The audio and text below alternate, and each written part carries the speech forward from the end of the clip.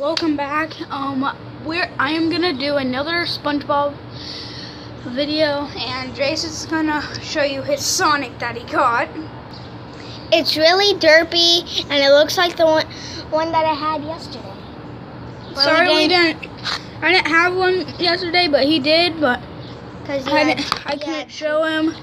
And I have a bowl with the pieces because it fell off. But even if you put it back on, it will not be perfect. So yeah.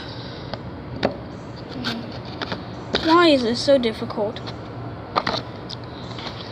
Okay, so I'm there.